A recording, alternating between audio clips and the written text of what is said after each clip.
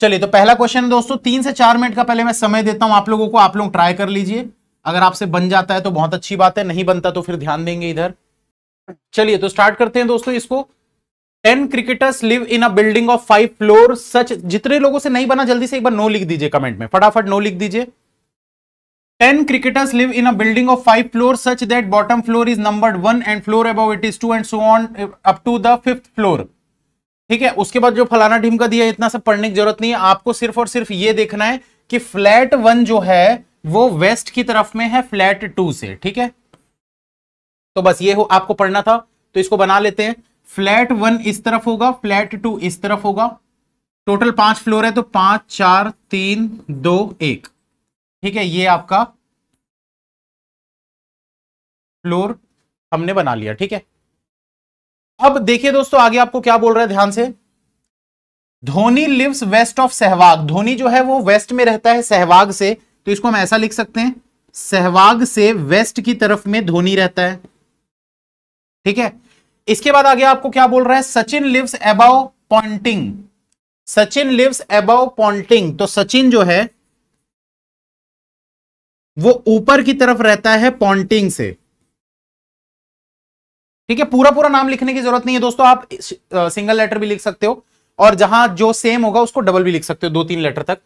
तो पॉन्टिंग से ऊपर की तरफ़ सचिन है। आप काफ़ी लोग इसमें कंफ्यूज हो जाते हैं कि भाई पॉन्टिंग से सचिन ऊपर है तो पॉन्टिंग यहाँ है तो सचिन यहीं पर होगा, ऐसा ज़रूरी नहीं है।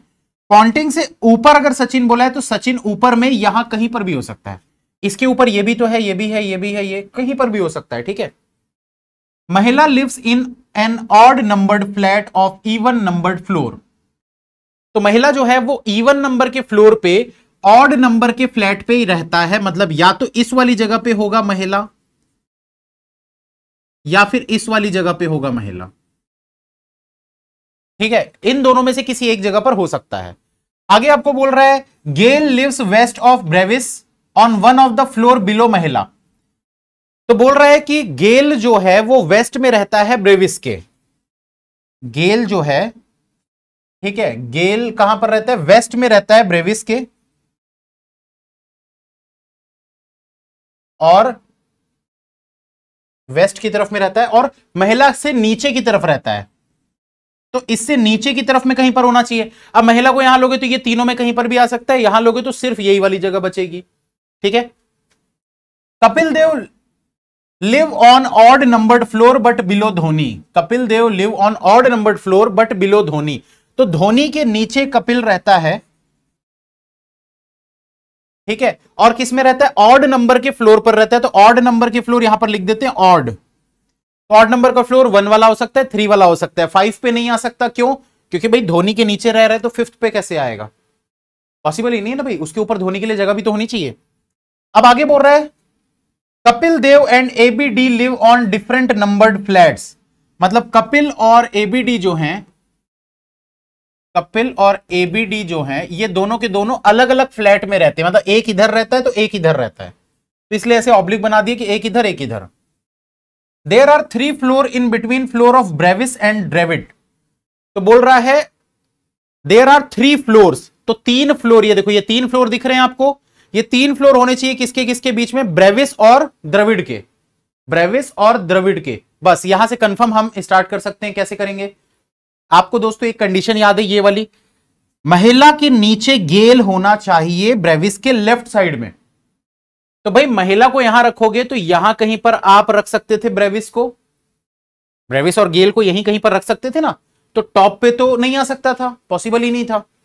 और अब आपको बोल दिया there are three floor in between floor of Brevis and Dravid तो भाई सिंपल सी बात है ब्रेविस ये लास्ट वाले में आएगा और द्रेविड जो है वो ऊपर वाले में आएगा। तो कंफर्म हो गया, अब किसमें है, वो बाद में देखेंगे।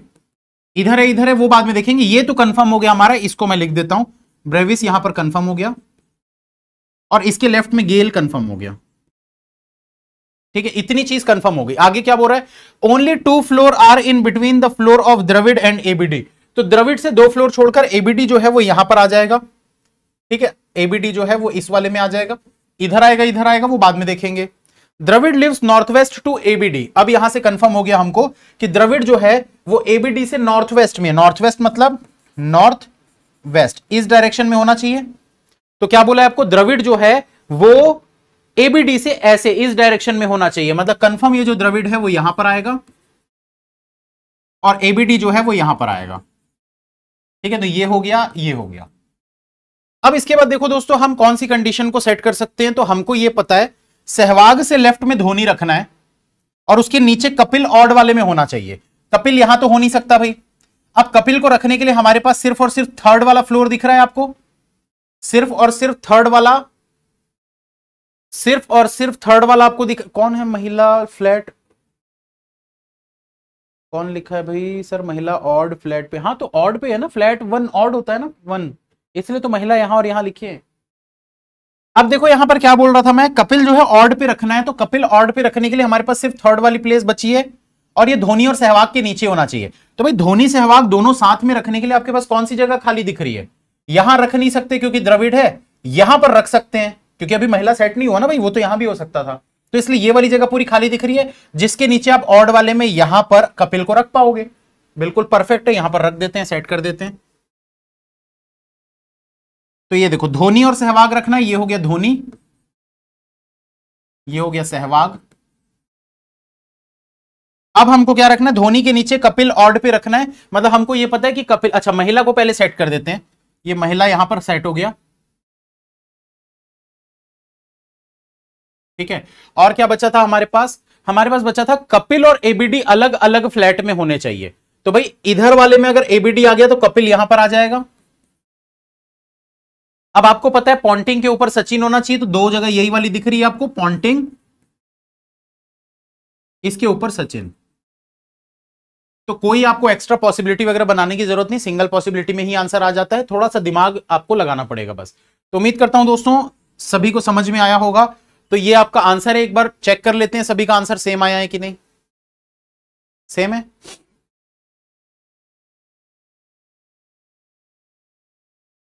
प्लस पे क्लास होती है दस बजे डेली